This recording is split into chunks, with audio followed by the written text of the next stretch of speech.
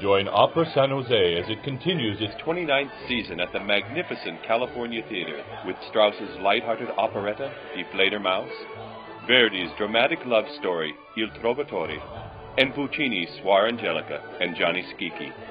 For tickets, go to operasj.org.